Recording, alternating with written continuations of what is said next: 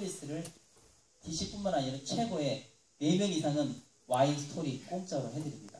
정말 제 이름 어, 걸고 제가 분명히 약속할 수 있습니다. 그래서 모임을 이렇게 아름답게 했고요. 바로 유영만 교수님과 만남, 참 이것도 약한 연결, 바로 페이스북에서 만납니다.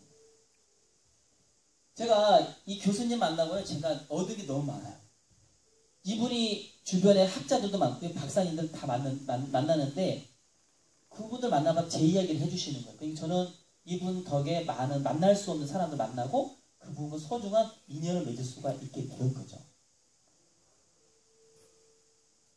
제가 좋아하는 이야기 중에 이겁니다. 오늘 핵심 포인트 약한 연결에 주목하라.